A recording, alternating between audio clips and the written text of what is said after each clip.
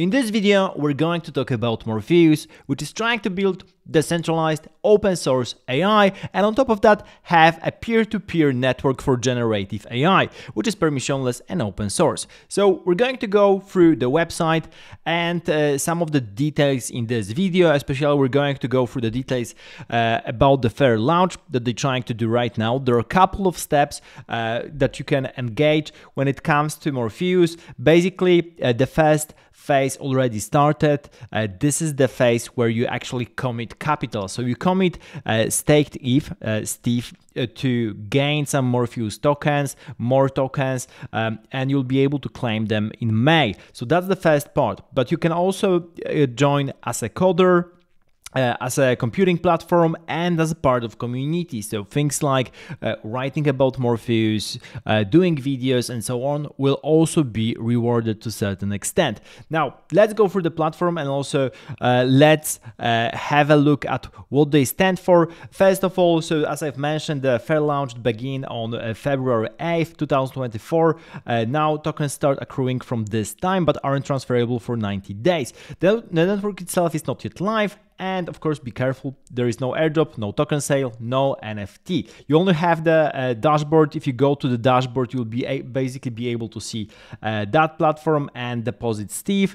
Um, also, this is the current daily rewards. So that's the, the first thing. Now, uh, apart from that, uh, they have quite a long summary of what they're doing. If you click on about, and we're going to go through that here. Also, there are extensive docs that are being developed with different guides for developers, for uh, node operators, and so on. So if you want to get uh, really into the Morpheus, that's the way to go. So you have the yellow paper, you can read that. Uh, but basically, uh, Morpheus is designed to incentivize the first peer-to-peer -peer network of personal general purpose AIs that can execute smart contracts uh, on behalf of a user, known as smart agents. So basically, they want to provide you with generative AI that can run for you the code. That's my understanding of what Morpheus is doing. So uh, if you know ChatGPT, imagine ChatGPT connected to any kind of blockchain and being able to do anything for you, and you just write uh, in natural language whatever you want. So that's pretty cool, and this is what they're trying to build with smart agents. So taking uh, smart contracts to the next level. Uh, so finally, average uh, user can talk with the smart agent, normal language, and understand the question and take an action based on that uh, based and of course after uh, approval uh, so this is pretty cool of course they're trying to use the the huge momentum that llms large language models are the new interface and this is cool about the Morpheus. This is exactly the step where I think AI merges with crypto, meaning that AI can be used to decipher a lot of smart contracts and then make everything much easier. So you will have a much better user experience, user interface for uh, navigating blockchains, for understanding also what's happening and probably also uh, deploying uh, deploying your own smart contracts on blockchain if you want to. Uh, so this is about the also open infrastructure. So uh, it's also all, all about computing. Uh, you'll be able to contribute as a uh, as a node operator uh, with your compute power for others to use. So that's pretty cool. there will be different network resources as well, and everything will be decentralized. so that's pretty cool. they have pretty nice context and history, but basically talking about the stuff that there's this huge fight right now between closed models, OpenAI, Microsoft and Google, and then open source models uh, like Llama, Falcon, uh, Mistral, and a bunch of others that are trying to do open source work in the context of large language models. Uh, and they want to enter here uh, with Morpheus, providing different APIs and decentralized cloud infrastructure. Uh, also, I imagine uh, decentralized hardware for training models at some point. so that's all pretty cool.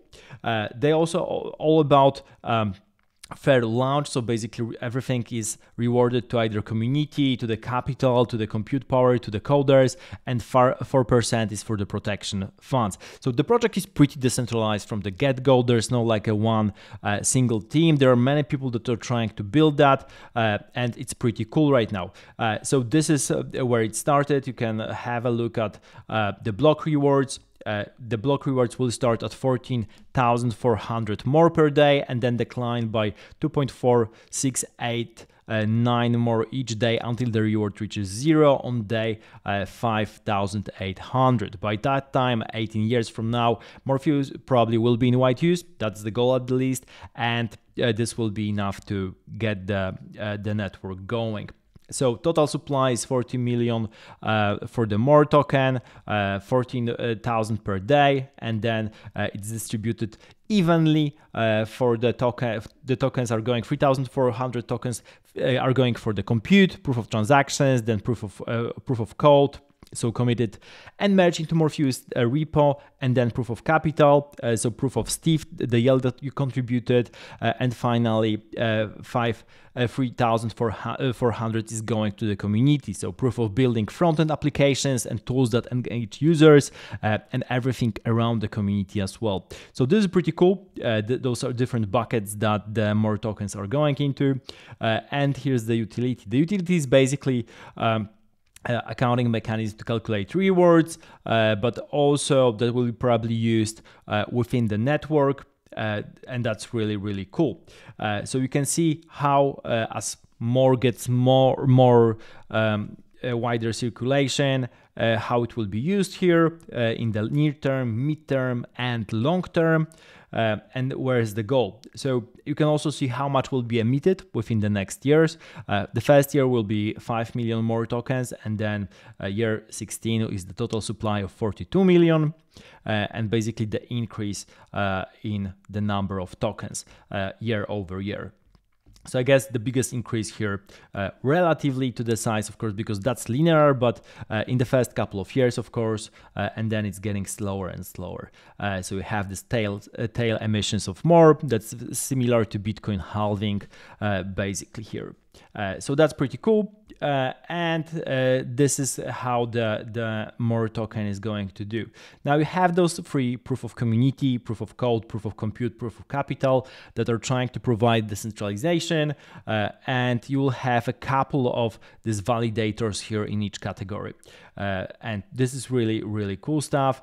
Um, uh, the basically uh, techno capital machine that's the in the honor of uh, EAC effective acceleration uh, accelerationism philosopher Bev Bezos that was created for the TCM and you can read more, more about that. Uh, if you didn't know Bev Bezos is uh, of course the anagram of Jeff Bezos but he's a pretty well-known guy in the tech circles building his own startup but also being all about this effective uh, accelerationism, which is trying to uh, give you uh, have this optimistic outlook when it comes to technology. So the faster technology advances, the more it brings benefits to the humanity. And Morpheus is created uh, with that respect as well. We want to make AI on a blockchain as fast as possible because this will be good for the for all the users that are within the community as well. Uh, so there are a couple of things here that you can do to, to take part in, of course, taking Eve, but also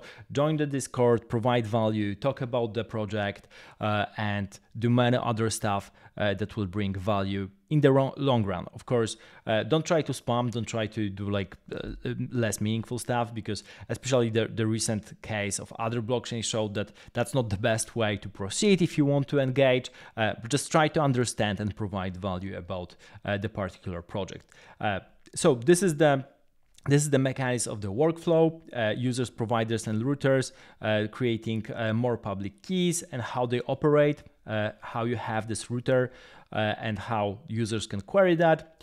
Uh, then compute bootstrapping incentive, we'll be going down with that.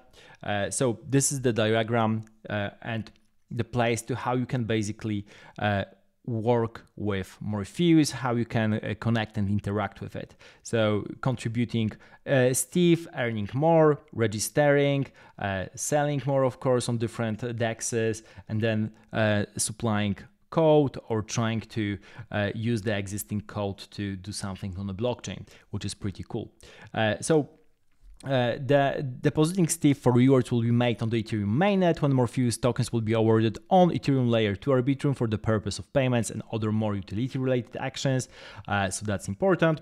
Uh, but basically, you need to just have an Ethereum wallet to get started here. Uh, so there are different fees uh, being set. So we're going to go for that. Uh, storage for persistent and wallets for recovery. Uh, I'm going to go also through that. Uh, and basically there's an article about user data security. Uh, the way they work, the, the, the, way they, they work is they're trying to provide uh, pretty cool en encryption for uh, large language models so that your data won't be leaked uh, and this is important because uh, your data will be probably computed in a decentralized way. They don't want to use uh, like uh, AWS or Google and the cloud or so on. Uh, but if you decentralized everything, then your data will be available in the peer-to-peer network. So in order to not have that, uh, you need to encrypt that. And this is what they're doing with the fully homomorphic encryption here, which is pretty cool. And you can read more about that as well, how they encrypt everything here. So this is uh, this is it when it comes to the more description. Uh, and the final words are, we are close to an important moment in history. With Morpheus, everyone will have a powerful personal AI capable of thinking with them and taking action to benefit them. In the same way, the personal computer and the search engine empowered the individual will have the same opportunity with personal AIs today. The Smart Agent protocol brings together the right mix of capabilities with LLMs, agents, and Web3. Morpheus extends those capabilities into a public network capable of accelerating the mass distribution and usage of smart agents. So this is pretty cool. And this is how it all started. Uh, so if you want to read more, of course, all the links will be down below in the description. Uh, you can also follow uh, the Morpheus project on Twitter and Discord. Thank you for watching. See you in the next video.